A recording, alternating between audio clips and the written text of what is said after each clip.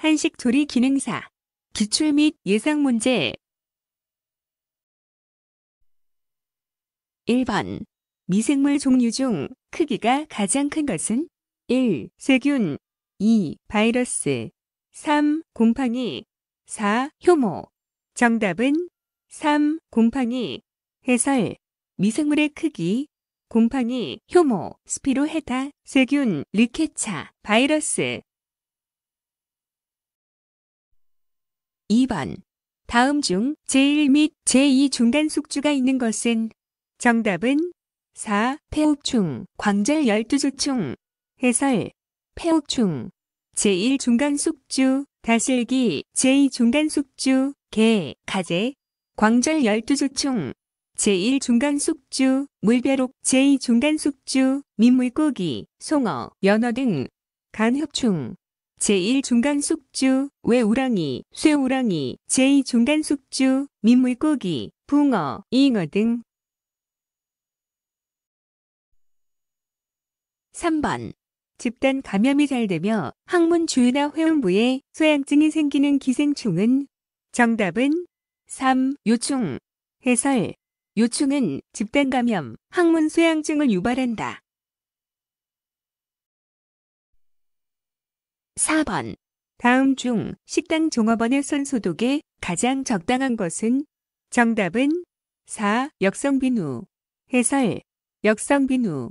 과일, 채소, 식기소독 0.01에서 0.1%, 손소독 10% 원액, 일반 비누와 함께 사용하면 살균 효과가 떨어짐.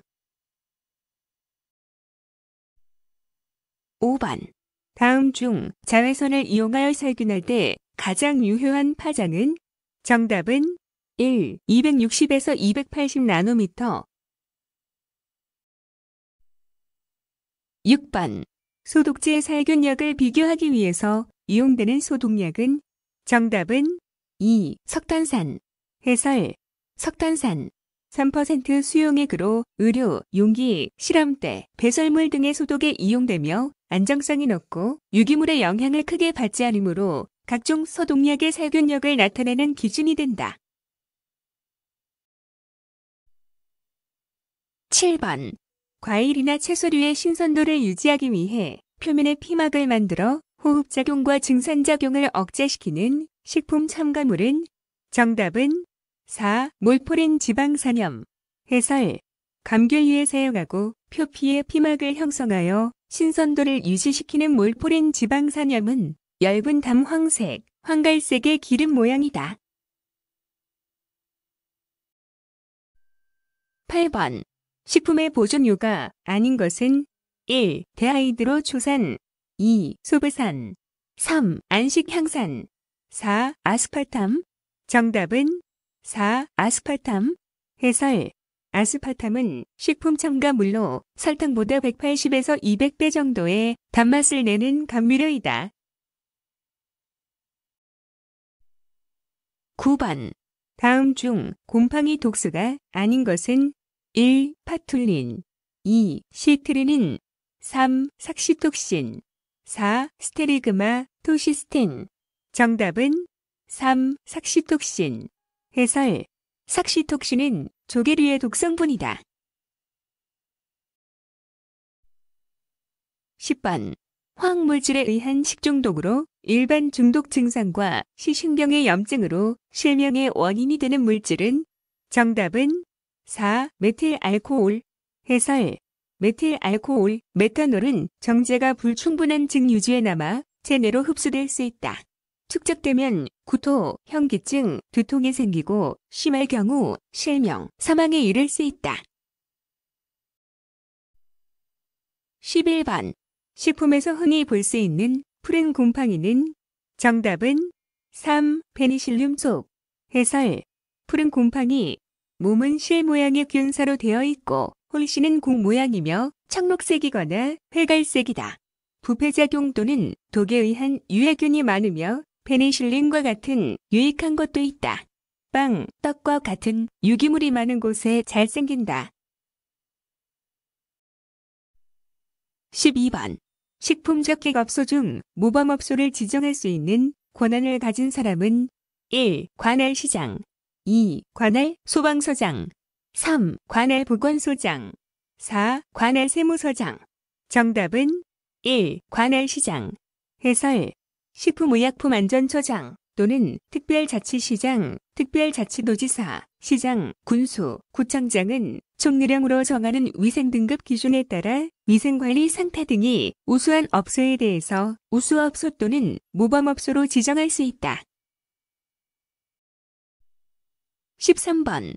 다음 중 식품위생행정의 목적과 가장 거리가 먼 것은 1. 국민보건의 증진 2. 식품 영양의 질적 향상 도모 3. 식품위생상의 위해 방지 4. 식품의 판매 촉진 정답은 4. 식품의 판매 촉진 해설 식품위생법은 식품으로 인하여 생기는 위생상의 위해를 방지하고 식품 영양의 질적 향상을 도모하며 식품에 관한 올바른 정보를 제공하여 국민 보건의 증진에 이바지함을 목적으로 한다. 14번. 다음 중 조리사 또는 영양사의 면허를 발급받을 수 있는 자는 정답은 1. 파산 선고자. 해설. 조리사 또는 영양사 면허의 결격 사유. 정신질환자. 다만 전문의가 조리사로서 적합하다고 인정하는 자는 제외. 감염병 환자, 비형 간염 환자는 제외. 마약이나 그 밖의 약물 중독자. 조리사 면허의 취소 처분을 받고 그 취소된 날부터 1년이 지나지 아니한 자. 15번. 식품위생법에 따른 기구에 해당하는 것은 정답은 3. 식품의 조리 등에 사용하는 물건. 해설. 식품위생법에 따른 기구의 정의. 음식을 먹을 때 사용하거나 담는 것.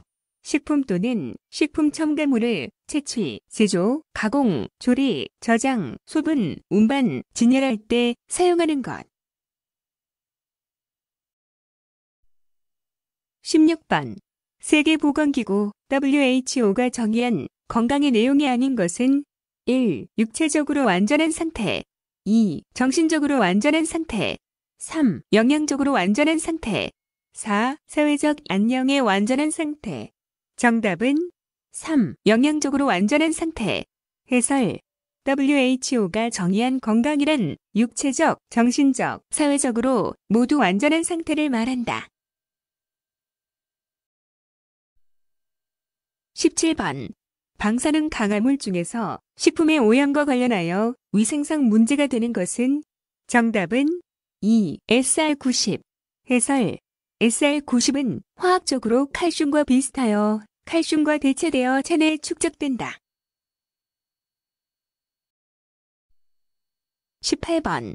공기의 자정작용에 속하지 않는 것은 1. 살균작용 2. 희석작용 3. 세정작용 4. 여과작용 정답은 4. 여과작용 해설 공기의 자정작용 산화작용, 희석작용, 세정작용, 살균작용, 교함작용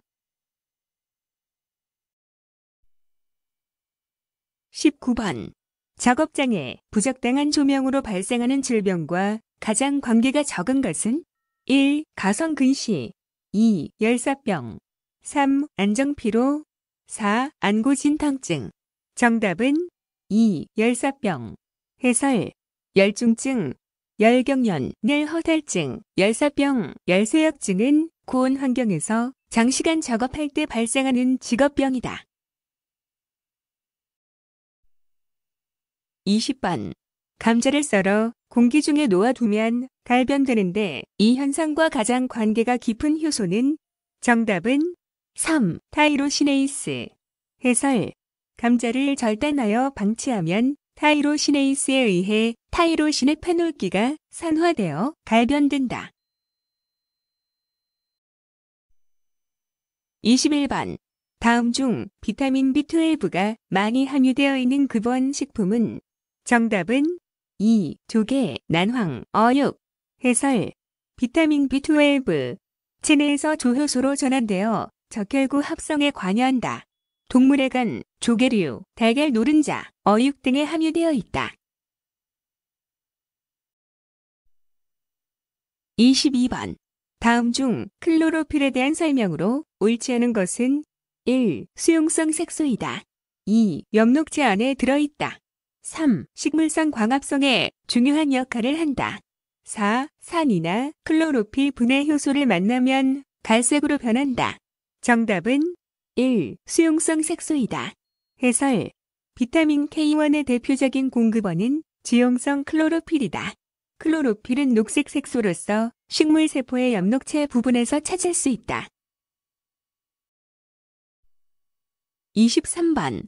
승마 물질과 식품 소재의 연결이 잘못된 것은 1. 테오브로민, 초콜릿 2. 나린진, 감귤류액과 피 3. 휴물론, 맥주 4. 쿠쿠루 비타신, 도토리 정답은 4. 쿠쿠루 비타신, 도토리 해설 쿠쿠루 비타신, 참외나 오이 꼭지 부분에 쓴 맛. 24번. 밀가루의 수용성 단백질이 아닌 것은 1. 류코신 2. 글로불린 3. 에데스틴 4. 글루테닌 정답은 4. 글루테닌 해설 밀가루의 글리아딘과 글루테닌이 물과 결합하여 글루텐을 만든다. 25번.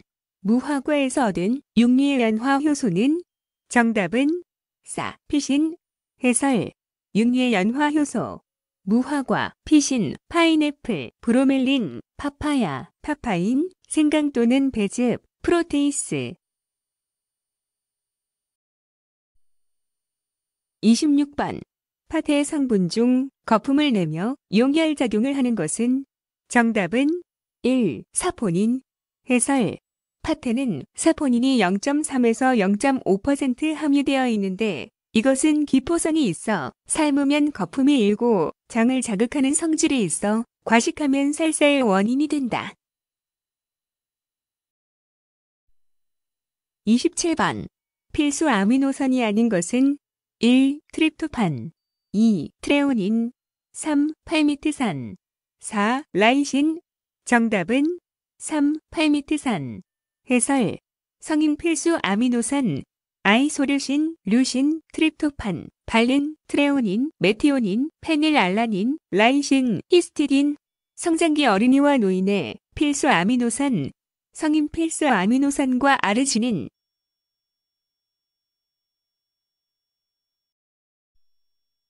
28번. 다음 중 결합수의 특성이 아닌 것은 1. 보통의 물보다 밀도가 크다. 2. 압력을 가해도 제거하기 어렵다. 3. 영도시에서 매우 째런다. 4. 용질에 대해서 용매로서 작용하지 않는다. 정답은 3. 영도시에서 매우 째런다. 해설 결합수는 영도시 이하의 저온에서도 잘 얼지 않는다. 29번. 생성목의 점탄성을 부여하기 위해 첨가하는 물질은 정답은 3. 전분. 해설 생선묵은 전분의 재활을 이용하여 점탄성을 부여할 수 있다. 30번. 다음 각영양소와 그 소화효소의 연결이 옳지 않은 것은 1. 녹말 아밀레이스 2. 지방 라이페이스 3. 단백질 펩신 4. 젖당 푸티알린 정답은 4. 젖당 푸티알린 해설 침 속에 있는 효소인 푸티알린은 전분을 덱스트린과 맥아당으로 분해한다. 31번. 다음 중 우유에 첨가하면 응고 현상을 나타낼 수 있는 것으로만 짝지어진 것은 정답은 3. 식초, 레닌. 해설.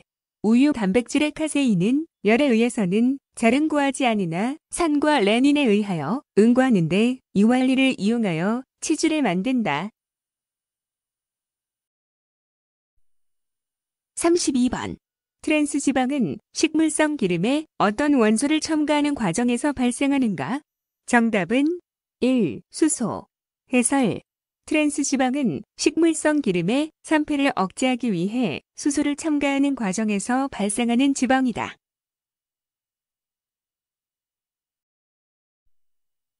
33번. 쓰거나 신 음식을 맛본 후 금방 물을 마시면 물이 달게 느껴지는데 이는 어떤 원리에 의한 것인가? 정답은 1. 변조 현상. 해설. 변조 현상은 한 가지 맛을 본 직후에 다른 맛을 정상적으로 느끼지 못하는 현상이다. 34번. 다시마 표면의 흰 가루 성분으로 감칠맛을 주는 것은 정답은 1. 마니톨 35번. 다음의 조건에서 당질 함량을 기준으로 감자 200g을 보리쌀로 대체하면 보리쌀은 약몇 g이 되는가? 감자 100g의 당질 함량 15g, 보리쌀 100g의 당질 함량 75g.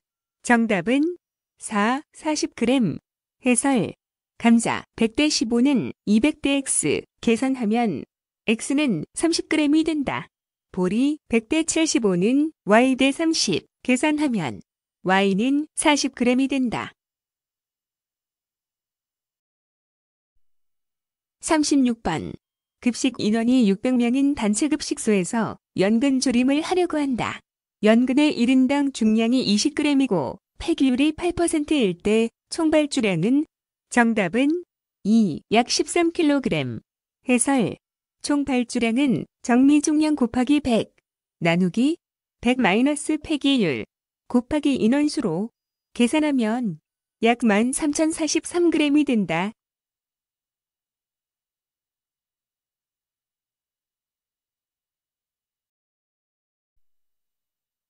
37번.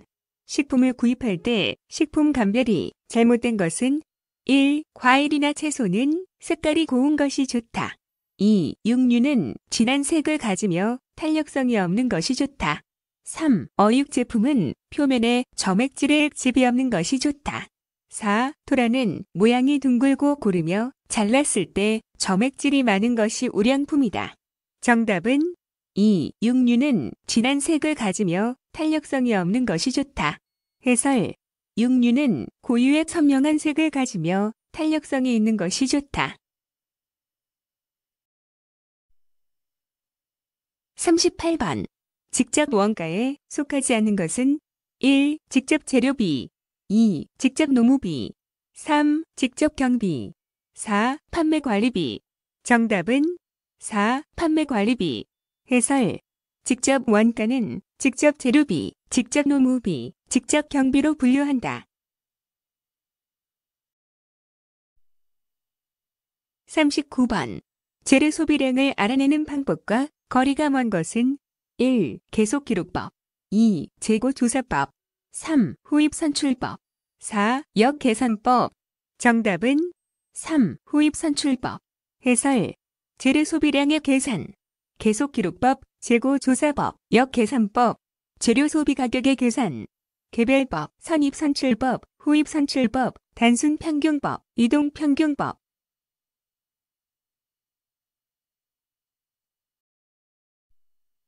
4 0번 조리장 내에서 사용되는 기기의 주요 재질별 관리 방법으로 부적합한 것은 1. 알루미늄제 냄비는 부드러운 솔을 사용하여 중성 세제로 닦는다. 2. 주철로 만든 국솥 등은 수세 후 습기를 건조시킨다. 3. 스테인리스 스틸제 작업대는 거친 솔을 사용하여 알칼리성 세제로 닦는다. 4. 철강제 구이 기계류는 오물을 세제로 씻고 습기를 건조시킨다. 정답은 3. 스테인리스 스틸제 작업대는 거친 솔을 사용하여 알칼리성 세제로 닦는다. 해설 스테인리스 스틸제 작업 때는 스펀지를 사용하여 중성세제로 닦는다. 41번. 침수조리에 대한 설명으로 틀린 것은 1. 곡류, 두류 등은 조리 전에 충분히 침수시켜 조미료의 침투를 용이하게 하고 조리 시간을 단축시킨다. 2. 당장법, 염장법 등은 보존성을 높일 수 있고 식품을 장시간 담가둘수록 영양 성분이 많이 침투되어 좋다. 3. 간장, 술, 식초, 기름, 조미액 등의 담과 필요한 성분을 침투시켜 맛을 좋게 해준다. 4. 쓴맛, 떫은 맛, 아른 맛 등의 불필요한 성분을 용출시킬 수 있다. 정답은 2. 당장법, 염장법 등은 보존성을 높일 수 있고 식품을 장시간 담가둘수록 영양 성분이 많이 침투되어 좋다. 해설 침수는 쓴맛, 떫은 맛, 아른 맛 등의 불미 성분을 제거하는 데 이용되며 침수 시간, 흡수 속도, 흡수량은 각 식품에 따라 차이가 있고 흡수 속도는 침수하는 소온이 높을수록 빠르다. 42번.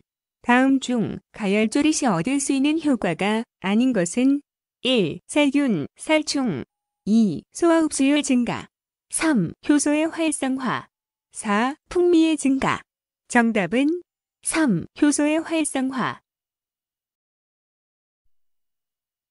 43번.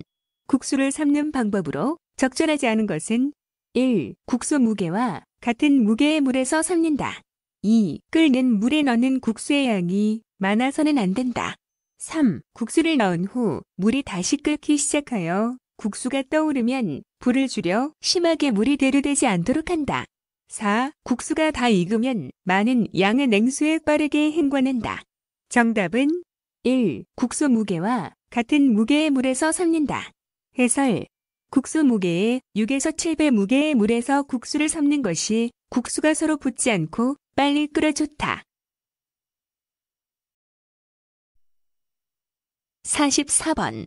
과일의 숙성에 대한 설명으로 잘못된 것은 1. 과일 유중 일부는 수확 후에 호흡작용이 특이하게 상승되는 현상을 보인다. 2. 호흡 상승 작용을 보이는 과일류는 적당한 방법으로 호흡을 조절하여 저장 기간을 조절하면서 후숙시킬 수 있다. 3. 과일류의 호흡에 따른 변화를 되도록 촉진시켜 빠른 시간 내에 과일을 숙성시키는 방법으로 가스 저장법이 이용된다. 4. 호흡 상승 현상을 보이지 않는 과일류는 수확하여 저장하여도 품질이 향상되지 않으므로 적당한 시기에 수확하여 곧 식용 또는 가공하여야 한다.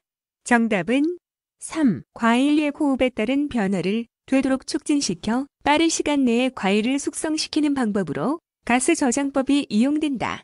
해설 CA 냉장은 냉장실의 온도와 공기 조성을 함께 제어하여 냉장하는 방법으로 사과 등의 첨가물 저장에 많이 사용된다. 냉장 실 내 공기 중에 CO2 분압을 높이고 O2 분압을 낮춤으로써 호흡을 억제하는 방법이 사용된다. 45번.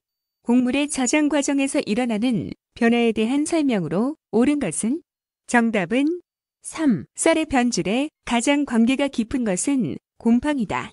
해설 옳은 설명 곡류는 유기체이므로 호흡작용을 한다.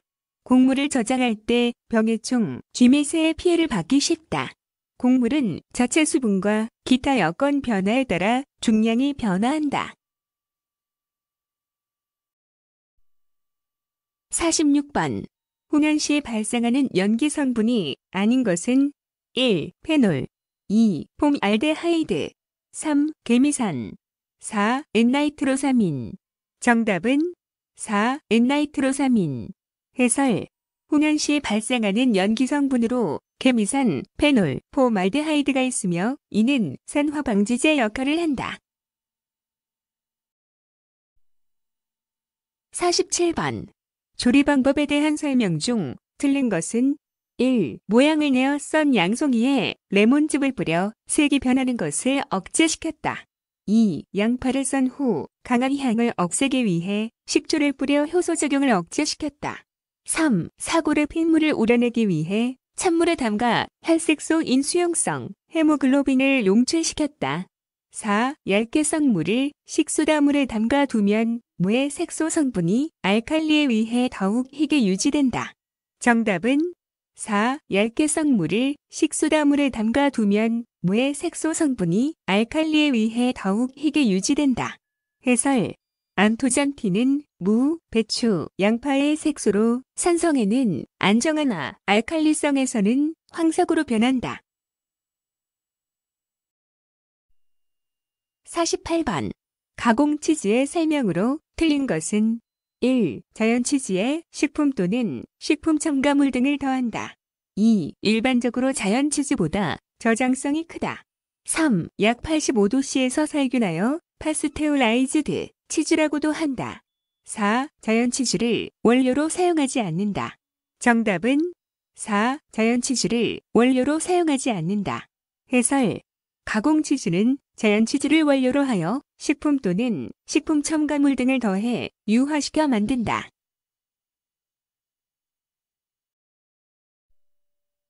(49번) 구이 조리 시 굽는 방법에 관한 설명으로 옳지 않은 것은 1. 지방이 많은 덩어리 고기는 저열에서 로스팅하면 지방이 흘러내리면서 풍미가 향상된다. 2. 생선은 프라이팬의 낮은 온도에서 서서히 온도를 높여가며 굽는다. 3. 직접 구이 시 불과 식품 사이의 거리를 조절하여 온도를 맞춘다. 4. 간접 구이 시 철판에 기름을 칠하여 식품이 달라붙지 않게 한다. 정답은 2. 생선은 프라이팬의 낮은 온도에서 서서히 온도를 높여가며 굽는다. 해설 생선을 통으로 구울 때는 제공하는 면 쪽을 먼저 갈색이 되도록 구운 다음 프라이팬 또는 석쇠에서 약한 불로 천천히 구워서 속까지 익힌다. 50번 부드러운 살코기로서 구이, 전골, 산적용으로 적당한 소고기 부위는 정답은 2. 안심, 체크, 우둔. 해설 소고기의 구이, 전골, 산적용으로 적당한 부위는 안심, 측끝살, 우둔살 부위이다. 51번. 유지를 가열할 때 유지 표면에서 얇은 푸른 연기가 나기 시작할 때의 온도는 정답은 4. 발안점 52번. 조리된 상태의 냉동식품을 해동하는 가장 좋은 방법은 정답은 2. 가열해동 53번. 녹조류에 속하는 해조류는 정답은 2. 청각 해설 녹조류, 청각, 파래, 홍조류, 김, 우뭇가사리, 갈조류, 미역, 다시마 54번 주방 위생을 위협하는 위의 요소 관리에 대한 설명으로 옳지 않은 것은 1. 장비, 용기 및 도구는 내부를 들여다보기 어려운 복잡한 디자인일수록 위의 요소로부터 안전하다. 2. 조리기구의 식품 접촉 표면은 염소계 소독제 200ppm을 사용하여 살균한다. 3. 의료용 세제에는 형광염료가 포함되어 있으므로 식품의 행주 사용을 금지한다. 4. 허가된 지정약품만 사용하고 일정 기간이 지나면 약품을 교체한다. 정답은 1. 장비, 용기 및 도구는 내부를 들여다보기 어려운 복잡한 디자인일수록 위의 요소로부터 안전하다. 해설 장비, 용기 및 도구는 청소하기 쉽게 디자인되어야 한다. 재질은 표면의 비독성이고 청소세제와 소독약품에 잘 견뎌야 하고 녹슬지 않아야 한다. 55번. 소금에 대한 설명 중 틀린 것은 1. 단맛을 높여준다. 2. 무기질의 공급원이다. 3. 제면 공정 시 제품의 물성을 향상시킨다. 4. 온도에 따른 용해도의 차가 크다. 정답은 4. 온도에 따른 용해도의 차가 크다. 해설 소금은 물에 대한 용해성이 높아 온도에 따른 큰 차이는 없다. 56번. 펜쌀기에 대한 설명으로 옳은 것은 1. 마늘이나 생강 등의 재료를 다지지 않고 향을 내면서 사용하려고 할 때 쓴다. 2. 생채, 구절판이나 생선회에 곁들이는 채소를 썰 때 쓴다. 3. 파, 마늘, 생강 및 양파 등 양념을 만드는 데 주로 쓴다. 4. 깍두기, 찌개 및 조림에 들어갈 재료를 썰 때 주로 쓴다. 정답은 1. 마늘이나 생강 등의 재료를 다지지 않고 향을 내면서 사용하려고 할 때 쓴다. 해설 2번은 채 썰기, 3번은 다지기, 4번은 깍둑 썰기이다. 57번. 국, 탕에 쓸 육수를 끓이는 통에 대한 설명이다. 기억, 니은에 들어갈 말로 옳은 것은 육수를 끓일 때 절대로 사용하지 말아야 할 통은 스테인리스 통이고 가장 좋은 통은 바닥이 넓고 두꺼운 알루미늄 통이다. 정답은 3. 기역, 스테인리스, 니은, 알루미늄. 해설. 육수를 끓일 때 절대로 사용하지 말아야 할 통은 스테인리스 통이다. 그 이유는 국물이 잘 우려지지 않기 때문이며 특히 뼈 육수일 경우에는 더욱 그렇다. 가장 좋은 통은 바닥이 두꺼운 알루미늄 통이며 같은 양이라면 깊이가 있는 것이 넓이가 있는 것보다 좋다. 58번.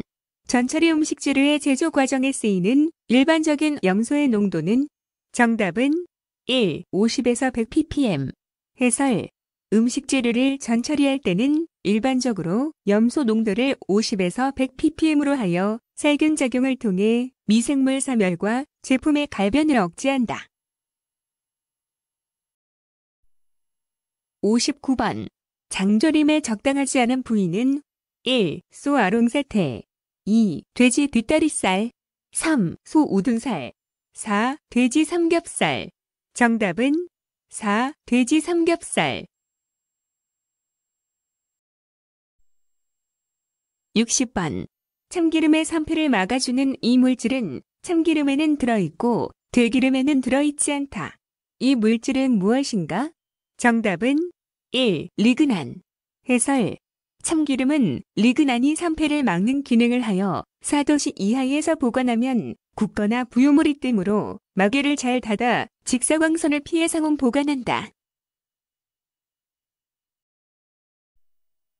수고하셨습니다. 스터디오는 당신의 합격을 응원합니다.